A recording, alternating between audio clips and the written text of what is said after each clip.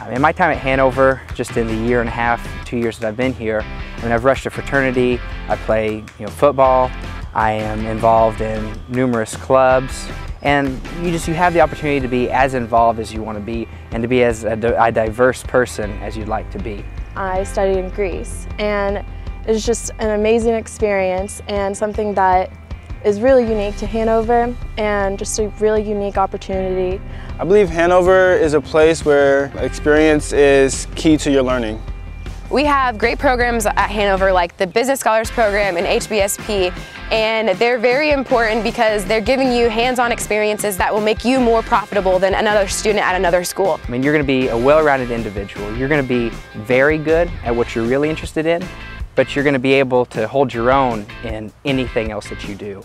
People who are coming into college are like, I want to have fun, I want to have that college experience, and this is definitely the place to do that. It's a community. It, it's really, it's its own small town and I don't ever want to go home because this is home for me.